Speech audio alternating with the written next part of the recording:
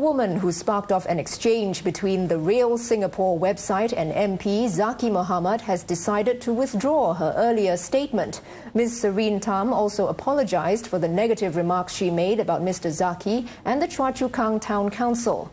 Now, this is the staircase where Ms. Tham said she fell and injured herself.